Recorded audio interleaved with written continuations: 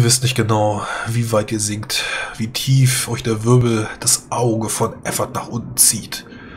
Aber als ihr dann langsam die Orientierung wieder erlangt, der Strudel euch freigibt, ihr trotzdem schwer nach unten sinkt, könnt ihr unter euch etwas erkennen.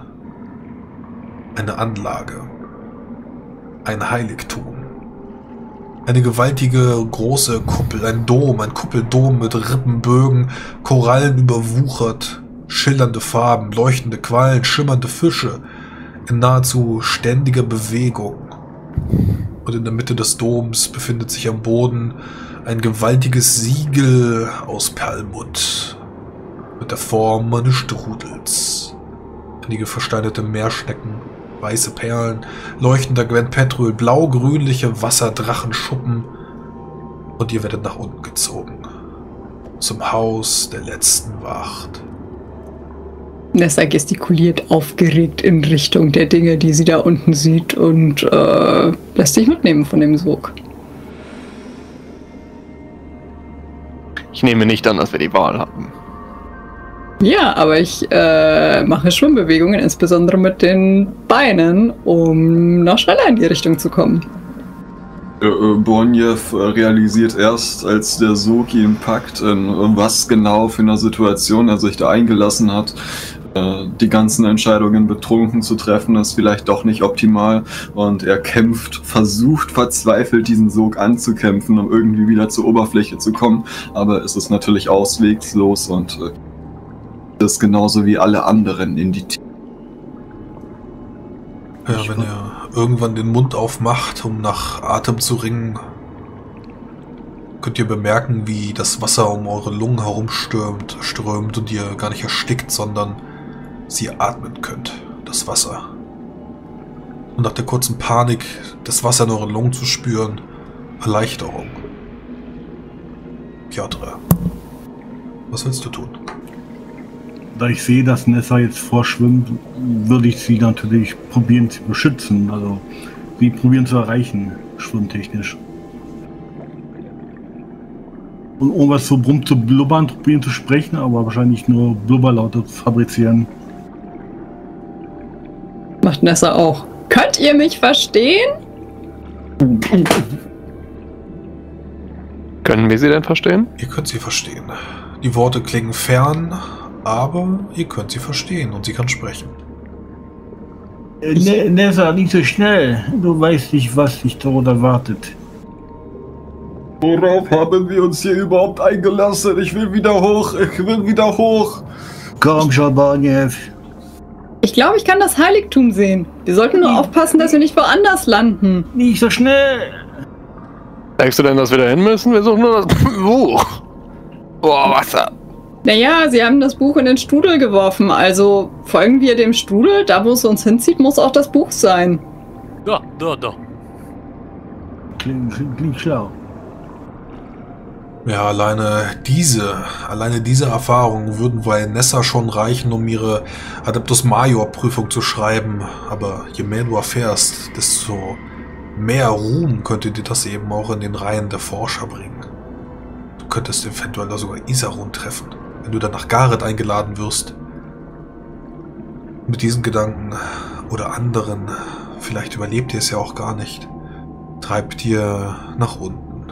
Als würdet ihr auf dem Rücken eines Drachen auf das nächtliche Kunchum blicken, von dem man sich erzählt, leuchtet unter euch am Meeresgrund am Rand des scannenden Schlundes, in den der Strudel das Wasser zieht, das Heiligtum Efforts. Umgeben von unbeschreiblich schönen Unterwassergärten, wie in einem Märchenschlaf schlummerndes Schiffswrack. Quallen gleiten an euch vorüber, ihre Nesseln zucken umher, ohne euch wirklich zu berühren, aber sie empfangen euch. Dort unten auf dem bleichen Sand vor einem riesigen Korallendom treibt ein Meermann mit Fischschwanz und der Strömung im wallenden Bad. In seiner Hand könnt ihr einen silbernen Dreizack erkennen, den er umschließt, und mit dem Kopf blickt er in eure Richtung, als ihr ihm entgegenstürmt. Es ist so, als würdet ihr Effardgar selbst erblicken, so wie er im Buche steht. Und erst als er dann näher kommt, könnt ihr erkennen, dass er keine Augen hat. Nessa, komm da, komm Oh. da weg, komm da weg. Ah. Znaju Bornski. Oh, der hat ja keine Augen. Was ist das für eine Gestalt? Aber, aber, aber leb, lebt er? Bewegt er sich? Er bewegt sich leicht. Sein Fischschwanz züngelt etwas umher. Seine Augen mustern euch. Auch wenn sie keine richtigen Augen sind, aber ihr fühlt euch ertastet von einem uralten Blick. Und seine Haare wallen im Wasser. Ah, das ist nicht gut. Ich glaube, er hat uns bemerkt. Das, komm da einfach weg. Komm, lass den in Ruhe. Nessa, was, was ist, was ist, was sein das? Weiß ich nicht. Kann ich was würfeln? Was das ist? Götter und Ja. Kröte. Du bist Bornländerin. Ich äh, erschwere es dir nur um sieben. Und wie war das mit der Erleichterung? Was hast du gesagt? Um drei? Äh, Im Prinzip ja, aber die ist da schon drin. Okay, gut. Weil das ansonsten, also für Nicht-Bornländer, die würden eine plus 15 oder so würfeln. Geschafft. Wow. Du weißt, dass es nicht Effort ist. Natürlich nicht. Aber vielleicht ein Alvaran Ja von ihm. Oder ein, ein Bild, ein Wächter, den er hier zurückgelassen hat. Das muss der Wächter dieses Hauses sein. Das Haus der Wacht. Aber er hat keinen Namen. Er hat keinen Namen, er hat nur eine Funktion. Er ist der Wächter. Ich bin nicht sicher. Er sieht, er sieht unheimlich aus ohne die Augen, aber er ist ein Meermann. Ich, ich denke, er bewacht das Heiligtum. Und? Ich denke, wir sollten nett fragen, ob wir das Buch holen können. Das kannst du tun. Ich habe noch nie einen Mann getroffen, der sich äh, nicht vor einem schönen bornischen Lied das Herz hätte erweichen lassen. Hm, ich hoffe, er spricht eine Sprache, die ich verstehe. Während ihr näher auf ihn zukommt, ihr habt das, den Bleichsand bereits erreicht, steht wenige Meter dann vor den Gärten, vor dem gewaltigen Korallendom. Da könnt ihr sehen, wie einige Feuerquallen neben ihm an seinem Kopf entlang zucken und irgendeine Säure, die das Wasser um die Feuerquallen herum in eine andere Farbe taucht, die sich warnend äh, neben ihm dann befinden. Und dann könnt ihr die Stimme in eurem Kopf hören. Ihr befindet euch in großer Tiefe, Landwandler und Wogenreiter, und seht das Haus der Wacht. Ihr werdet einen Dienst erfüllen und entlassen, oder bis zum Ende der Wacht hier verweilen. Ähm, s- sehr wohl. Der, der Hochgeweihte schickt uns wegen dem Buch. Ihr beschreibt nichts, was mich nicht bereits seit unzähligen Gezeiten umgibt. Visionen. Das, das war so nicht abgemacht. Wir holen Buch und gehen. Ihr, ihr hört dem auch in eurem Kopf? Ja. Och. Wie geht das, Nessa? Ihr wollt, dass das Meer gibt, was es genommen hat, jenes Buch. Euch. Erfüllt den Dienst, den ich euch bestimme, und es soll sein. Hören wir uns doch erstmal an, was der Mann, mehr Mann von uns will. Ja, da, da. Vor drei Dutzend Gezeiten stieg abermals eine Arche in unermessliche Tiefen, um den Gefangenen mit ihrer Kraft zu nähren. Goldborgige Verhöhnung der Elemente. Goldmorgen Tarantel. Doch sie griff nicht an. Sie legte etwas ab am Rand des Abgrunds. Es lauert und treibt seine Wurzeln in den Grund. Ich darf das Haus nicht verlassen. Der Bann darf nicht gebrochen werden. Doch ihr könnt es. Hm, ja, ja, ich hoffe. Aber natürlich, natürlich, ihr könnt hier nicht weg. Und sie, sie hat irgendetwas gepflanzt und wir müssen es kaputt machen. Das ist einfach Blumenpflücken, ne? Naja, es ist wahrscheinlich irgendetwas Bösartiges. Große Blume. Böse In, Blume. in, in, in dieser? Richtung? Äh, vielleicht. Oder vielleicht, vielleicht hat es auch, naja, ihr wisst schon, nicht so wie eine Pflanze, sondern dass es sich bewegt und uns packen will oder sowas. Er deutet mit seinem Dreizack in Richtung des Abgrundes, der unermessliche Schlund, den ihr bereits von oben gesehen hattet, als ihr nach unten getaucht seid. Er Was? Da, Kein- da ganz runter? Kein Fisch mit Verstand nähert sich dem Schlund, wenn ihm seine Gräten lieb sind. Aber ihr seid keine Fische.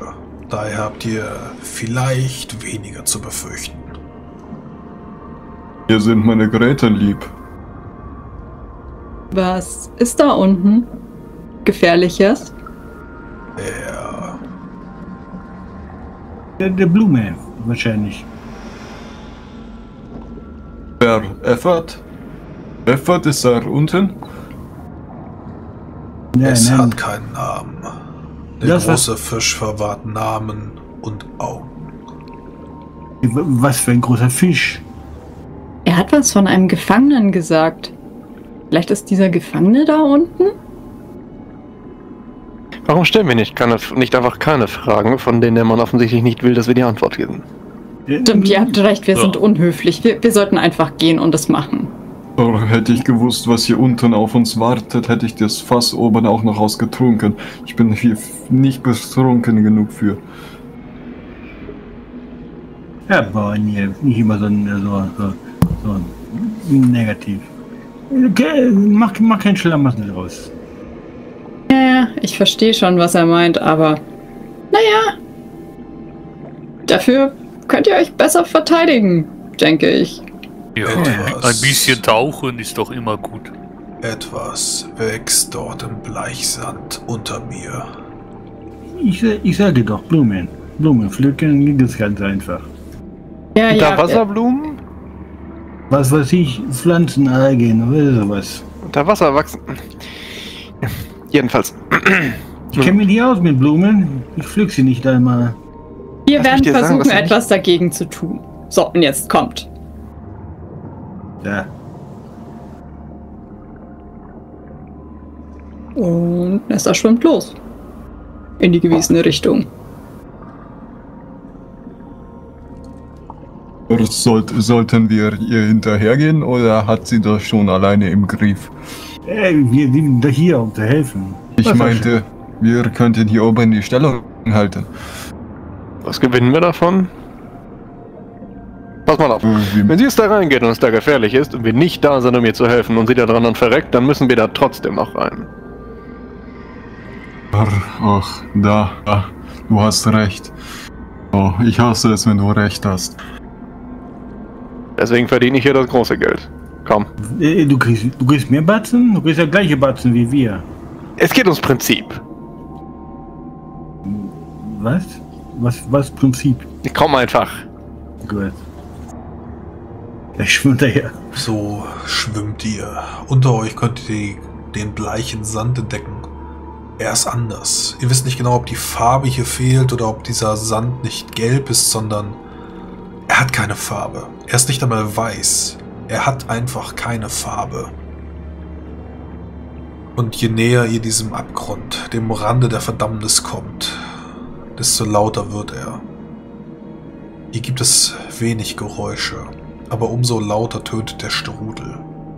Kreischend stürzt er sich hinab in die Tiefe, die euch unergründlich bleibt, mit ewiger Dunkelheit, die dort lauert, unten, die selbst den Malstrom verschluckt, so dass ihr nicht mal eine Ahnung habt, wo er endet. Vielleicht endet sie nicht einmal hier auf Aventurien, auf Dere. Vielleicht endet dieser Abgrund in den Niederhöllen. Der klaffende Spalt im Meeresboden könnte mühelos eine große, eine große Galeere verschlucken, und so lässt euch klein und unbedeutend erscheinen. Vor Urzeiten haben hier Götter gerungen, die ihre unheilvolle Finsternis in ihr blickt. Ist der düstere Zeuge eines Kampfes, der noch nicht entschieden ist. So kommt ihr näher und näher, und das Ziehen der Schlucht wird stärker. Äh, nee, Nessa, ihr glaubst, glaubst du gut die Idee, da, da runtertauchen? Ähm, ich weiß gar nicht, also ich hoffe sehr, dass wir das nicht müssen. Er hat doch irgendwas gesagt, dass dieses Ding im Bleichsand wächst und ich glaube, wir müssen wohl nicht lange raten, was er damit gemeint hat. Na hier, guck, guckst du, Borden. Ja, Hört ihr diesen Sog? Der wird immer stärker. Desto tiefer wir gehen, kommen wir hier überhaupt wieder hoch? Und dann geht vielleicht nicht näher ran. vielleicht, vielleicht wenn wir uns dicht am Boden halten. Dieser Sand sieht zwar auch unfreundlich aus, aber wir sollten schauen, ob hier etwas wächst, was hier nicht sein sollte. Ich meine, es wächst nicht sehr viel hier, also prinzipiell ist alles, was hier wächst, verdächtig. Warum Ja. stochern wir nicht ein wenig im Sand und schauen, was wir finden? Vorsichtig, versteht sich. Soll ich? Ich habe einen Speer. Du machst das und wir decken dich. Ich, ich glaube, ich habe meine Armbrust dabei, aber ich glaube nicht, dass die unter Wasser funktioniert. Äh, könntest du wieder eine Harpune versuchen zu benutzen, aber Ja, nee, dann, dann werde ich, irgendwie mit, mit einem Messer oder so einem, du weißt schon, dieses lange Ganovenmesser irgendwie hinter ihm stehen. Äh, sch- schwimmen, hängen, wie auch immer. würfel mal eine Vito zieht seinen Speer und sticht in den Boden. Sinneschärfeprobe. Sehen wir uns das an. Das, Alle was oder alle? Ja, klar, alle. Das, was alle Helden können und brauchen. Sinneschärfe. Äh, ich habe, ich glaube, drei Punkte über. Jedenfalls geschafft. Fünf Punkte von Nessa. Ihr stecht in den Bleichsand. Wie wenig Widerstand. Hier drunter scheint nichts außer aus Sand zu sein. Doch dann kann Nessa vor sich einige Hölzer entdecken, Ranken, die dir ungesund aussehen. Auch sie besitzen keine Farbe, aber sie sehen gleichzeitig tot und lebendig aus. Sie sind einfach chaotisch und gehören nicht hierher. Wuchernde Ranken. Hm. Seht ihr das da vorne? Ich Ja? glaube, ich glaube, das könnte es sein. Was meint ihr? Naja, es sieht genauso falsch und böse aus wie der Boden, aber da hinten. Ja, la, lass es hinschwimmen. Irgendwie hölzern. Aber hm, seid, seid lieber vorsichtig. Ich glaube, es ist was Dämonisches. Also haltet Abstand. Und ich habe nicht vor anfassen. Du glaubst oder du weißt? Ach, keine Sorge, ich fasse das an. Mein Na, großer, na, na, Held, na, na, na. mein großer Held hätte das genauso gemacht. Äh, Br- Brüder, ich Nein, nein, äh, nichts äh, anfassen. Äh, Bleibt erstmal da, bis, bevor, bis wir einen Plan haben. Ich bin mir sicher, Helden werden überhaupt nur große Helden, weil sie, weil sie schlau genug sind, um nicht einfach irgendwelche komischen Sachen anzufassen, die dämonisch sein könnten. Niet, niet, niet. Jalan immer alles anfassen. In großer Heldengeschichte. Ich habe gehört, alles anfassen.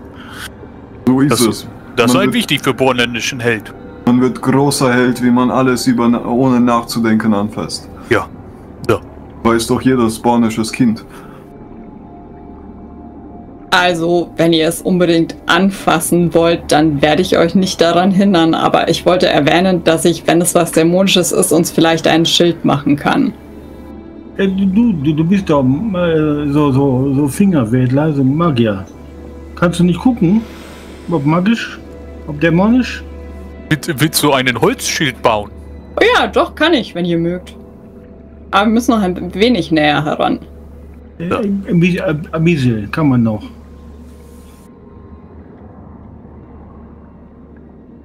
So? Ja, Das während wir? ihr auf die auf das Zentrum hinzu- hinzuschwimmt, ihr könnt tatsächlich erkennen, dass die Ranken dicker und dicker werden und in der Mitte sich wohl ein goldenes Ei befindet. Je näher die diese es sieht fast aus wie Beine, wie zuckende Beine einer gewaltigen Spinne. Ah, desto näher es am Zentrum kommt, desto güldener wird es. Und insgesamt könnt ihr acht Beine zählen. Ein Keimling, der sich dort in den Sand eingegraben hat. Oh, so Gold. Ich glaube, es hat sein Junges hier gelassen. Nessa, guck Gold, Bonjev Gold. Das ist aber ziemlich groß dafür, dass es ein Junges ist. Äh, Es bewegt sich. Wir, wir sind reich. Nein, nein, be bewegendes Gold ist nicht gut. Gold ist immer gut. Egal, bewegen und nicht bewegen. Das ist aber kein echtes Gold. Äh, guck, guckst du Gold? Glaub ist mir, ich weiß es Gold nicht. Alles, was wie Gold aussieht, ist auch welches. Passt auf, ich mache ein Schild. Ich weiß nicht, ob es funktioniert, aber ich versuche es. Und dann gehen wir näher ran und wir machen es tot. Und wenn ihr dann das Gold mitnehmen wollt, dann könnt ihr das tun, meinetwegen. Wie machen wir es dort? Ja, meine, Wir tja. können einfach drauf einstechen und. Da? Äh, Frage ans auf. Bewegt es sich? Wenig. Die Beine zucken ein bisschen leicht spielerisch umher. Also scheint wohl zu leben, aber das Zentrum selbst ist ja ein, ein großes Ei. Du würdest sagen, so groß wie ein Mensch, zwei Meter groß, unförmig. Und von ihm gehen eben diese Beine oder Arme aus. Ich habe noch nichts getroffen, was ich nicht mit meinen bloßen Händen totwürgen könnte. Oh, Piotr, so viel Gold. Du müsstest einfach nur diese seltsamen dämonischen Ranken abschneiden und dann könntest du diesen Goldball verkaufen. Ein Palast in Gareth kann man davon bekommen. Er hat nur gesagt, dass wir es rausnehmen sollen. Ich dass wir wir, wir müssen. behalten, da? Alles meins. Na gut, dann bevor ihr etwas Dummes tut. hm, Nessa lässt sich Zeit und probiert einen Guardianum gegen Dämonen. Das ist die 3 Erschwernis, also eine 1er Erleichterung. Was hältst du von der Abmachung? Wenn es nicht versucht, uns aufzufressen, können wir darüber nachdenken, ob wir es behalten wollen. Hm? Müssen wir das nicht gegen das Buch tauschen? Ich, er hat nicht gesagt, dass er es haben will. Jahre weg. Oh. Oh, nun. Nessa wirbelt, also, naja, wahrscheinlich eher dreht ihren Zauberstab über dem Kopf, denn wir haben, sind ja unter Wasser und das ist alles etwas langsamer. Und äh, sieht dann zufrieden aus. Und jetzt holen wir, holen wir Gold? Deine hoffen wir Nase das fängt, deine Nase fängt an zu bluten, Nessa. Du hast sie gesprochen wie immer und du weißt, dass es geklappt hat, aber hier strömt die astrale Kraft aus deiner Nase heraus. Zieh dir die doppelten ASP ab. Mhm. Ähm, Das Nessa- Ei wird größer. Das ist nicht gut, aber vielleicht ist es dieses Ding. Ist Gold? Versucht, halt, versucht bei mir zu bleiben. Drei Schritt in diese Richtung, ein Kreis um mich herum. Eins der Beine bewegt sich. Langsam. Ja, seht mal. Es kommt auf euch zu. Liebevoll. Ah, Gold. Dann kannst du spüren, Nessa, wie sich eins der, der merkwürdigen Ranken um den Guardianum legt und dich liebevoll herunterzieht. Es blitzt ein bisschen. Die dämonische Energie wird abgefangen, aber es, es spielt damit. So tut doch irgendetwas. Ihr habt Was? gesagt, ihr könnt es abstechen, also tut das. Da, Äh, da, da. Los! Doch, ich helfe dir. Pass auf, Voldemort. Bornjev ist zur Stelle. Piotr, schau mal, ob du das goldene Ding losgeschnitten kriegst. Ah, gut, gut, yeah. Gold. Ich zieh meinen Deutschen schon mal auf diesen Tentakel zu und Gold, der Gold schimmert. Ich folge ihm tatsächlich. Also du schwimmst jetzt auf das, das Ei in der Mitte zu, ja? Anführungszeichen, Anführungszeichen. Nee, auf den Tentakel, das ist wahrscheinlich am nächsten, oder? Vermute ich mal. Ja, der Tentakel hat den Guardianum umgeben. Nee, nee, ich jetzt sagen, der packt ja keine Ahnung. Okay, dann, ähm, du kannst es versuchen abzutrennen und das kannst du sicherlich auch gut in die Tasche stecken. Das Bein hat einen Lebenspunkte 10, Rüstungsschutz 4. Ist gar nicht so viel. Aber, ähm, was hast du für eine Wache? Waffe? Ich habe einen schweren Dolch in der Hand. Ja, das ist eine Stichwaffe, ja? Das ist ein Dolch. Ja. Solche machen normalen Schaden. Genau. Genau. Ich habe auch Ich keinen kann- Abzug unter Wasserkampf, insofern. Na, selbstverständlich. Nein, unter Wasserkampf ist keine Abzüge.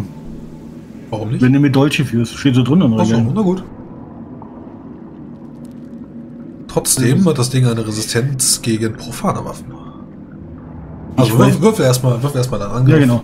Okay, ich mache jetzt mal einen Angriff. Keine Wucht oder sowas dabei. Das ist getroffen, dann kannst du den Schaden machen und dann schauen wir mal, wie viel Schadenspunkte du an diesem Bein verursachst. Sagenhaft 7. Die werden halbiert, weil es eine Resistenz gegen profane Waffen hat. Dein, dein Dolch ist nicht magisch und nicht geweiht. Also werden aus den 7 werden 4. Dann hat es einen Rüstungsschutz von 4. Du machst keinen Schaden. Aber wir haben den Rüstungsschutz immer vor der Halbierung abgezogen. Äh, nein, weil die Rüstung auch dämonisch ist. Also definitiv nicht bei Resistenz. Die Rüstung ist auch dämonisch. Deswegen ähm, wird die Resistenz der profanen Waffen erst abgezogen. Das Okay, kommt immer ein bisschen drauf an, ob es an der Rüstung liegt oder nicht. Es ist ja ein natürlicher Rüstungsschutz. Im Prinzip kann man auch unter Wasser Wucht schlagen. Ja, warum nicht, würde ich erlauben. Also Wucht stechen dann.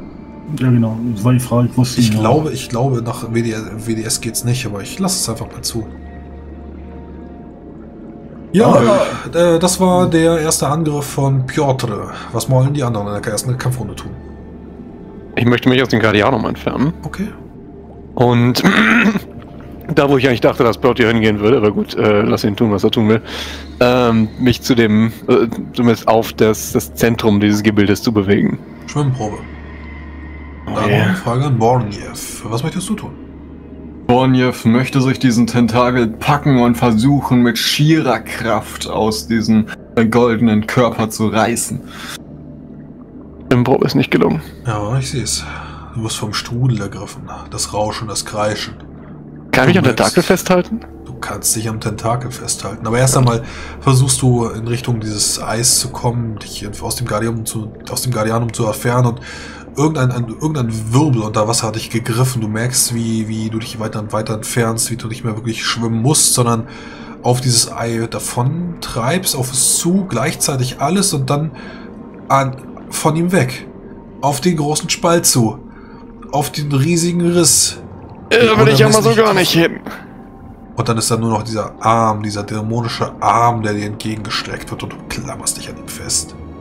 Bornja, was wolltest du tun? Entschuldigung? Ja, äh, Bornjev greift aus dem Guardianum heraus und äh, packt sich mit beiden Armen, will zumindest den, äh, diesen Tentakel packen und äh, seine ganze Kraft dahinter setzen, um diesen aus diesem goldenen Körper hinauszureißen. Okay, ähm, Raufen, würde ich sagen. Äh, Raufen kann ich dir anbieten, genauso wie Ringen. Ich würfel mal. Raufen. Ja, Ringen kannst du auch machen, also okay. Mit einer hohen Körperkraft würde das ja in die TPKK ein. Oh. Ja, und äh, zusätzlich äh, zur äh, Körperkraft, die ich so habe, möchte ich einen Vorteil einsetzen, und zwar Kraftschub. Ähm, Okay. da, muss ich, da muss ich eine Probe drauf würfeln. Ja. Machst du jetzt Raffim, oder wie? Körperkraft. Ja, leider nicht allzu gut geworfen, aber dennoch sind es drei Punkte, die ich über habe und die jetzt auf meine Körperkraft mit draufkommen. Ja. Und damit habe ich, Wie eine, hoch ist deine Körperkraft? Damit habe ich eine Körperkraft von 19. Äh, Also, Weißt du was, dann mit dem Crit gebe ich dir die ganzen 19 und äh, dann reißt du, ich gebe dir das als TP, wir ziehen den Rüstungsschutz von 4 ab und äh, reißt das Bein aus. Du stellst, äh, schwingst deinen deinen Körper aus dem Guardianum heraus, gleitest entlang und irgendwie mit, mit, mit der anderen, du- irgendwie so eine kleine Wurzel oder sowas, mit der du dich unterhakst, ähm, an mit deinen Füßen, dann ziehst du und ziehst und du merkst wohl, wie über dir noch äh, Piotr mit seinem kleinen Dolch hineinsticht und dann gibt's einen Ruck und ein ekelhaftes Kreischen von dem goldenen Ei und du hast den riesigen Ast in der Hand. Nessa, was willst du tun?